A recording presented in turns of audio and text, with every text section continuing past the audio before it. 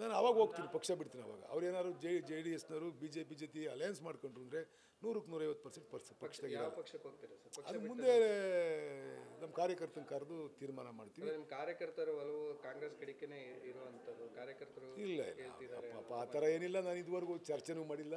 ನನಗೆ ಅದ್ರ ಬಗ್ಗೆ ಅವ್ರಿಗೂ ಅದ್ರ ಬಗ್ಗೆ ಕಲ್ಪನೆನೂ ಕೂಡ ಇಲ್ಲ.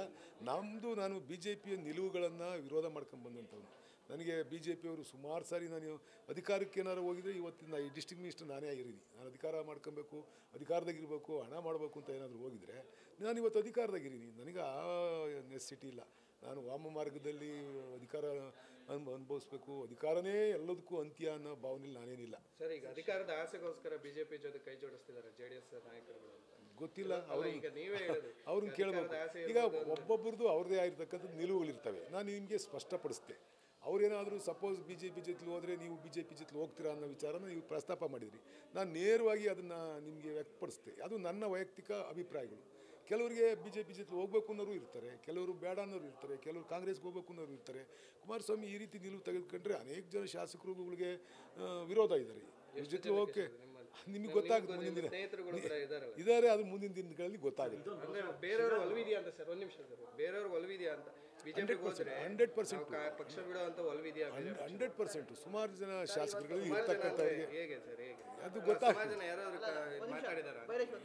ಸರ್ ಇವತ್ತು ನೀವು ಪ್ರೆಸ್ ಮೀಟ್ ಮಾಡ್ತಿರೋದು ಆ, ಕುಮಾರಸ್ವಾಮಿ ಅವರಿಗೆ ಕೊಡ್ತಿರೋ ಸೂಚನೆ ಯಾವ ರೀತಿ ಅಂತಂದ್ರೆ ನೀವು ಬಿಜೆಪಿಗೆ ಏನಾದ್ರು ಹೋದ್ರೆ ನಿಮ್ಮ ನಮ್ಮ ನಿಮ್ಮ ಎಲ್ಲ ಶಾಸಕರು ನಾವು ಬಿಜೆಪಿ ಬರಲ್ಲ ಅನ್ನೋ ಒಂದು ಕುಮಾರಸ್ವಾಮಿ ಅವರೇ ಹೇಳಿದ್ದಾರೆ ಯಾರಾದರೂ ಹೋಗರಿದ್ರೆ ಮೈಸೂರು ತ- ಪೇಟ ತೊಡಿಸಿ ಶಾಲು ಆಗಿಸಿ ಕಳಿಸ್ತೀನಿ ಅಂತ ಹೇಳ್ಬಿಟ್ಟು ಹೇಳಿರೋರು.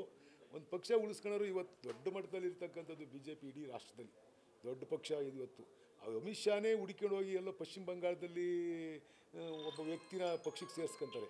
ಆದರೆ ಇವ್ರು ಮಾತ್ರ ಹೋಗರೆಲ್ಲ ಹೋಗಿ ಪಕ್ಷ ಬಿಟ್ಟು ಶಾಲೋದಿಸ್ತೀನಿ ಅಂತ ಅಂತಾರೆ ಅಂದಾಗ ನಾನು ಹೋದ್ರೆ ಅವ್ರೇನು ಕೇರ್ ಮಾಡ್ತಾರಾ? ನನಗೂ ಅದೇ ಹೇಳೋದು ಅವರು. ಅದಲ್ಲ ನಂದೇ ಆಗಿರ್ತಕ್ಕಂಥ ತೀರ್ಮಾನ ನಂದೇ ಆಗಿರ್ತಕ್ಕಂಥ ನಿಲುವು ನನಗಿದೆ. ನಾನು ಪಕ್ಷ ಸ್ವತಂತ್ರವಾಗಿ ಗೆದ್ದು ಬಂದಿರತಕ್ಕಂಥ ವ್ಯಕ್ತಿ ಗೆದ್ದು ಅವ್ರ ಪಕ್ಷಕ್ಕೆ ಹೋಗಿದ್ದಂಥವನು. ನೀನು ನನ್ನ ಮನಸ್ಥಿತಿಗೆ ವಿರುದ್ಧವಾಗಿರ್ತಕ್ಕಂಥ ತೀರ್ಮಾನಗಳನ್ನ ಅವ್ರು ತೆಗೆದುಕೊಂಡೋದಾಗ ಅದನ್ನ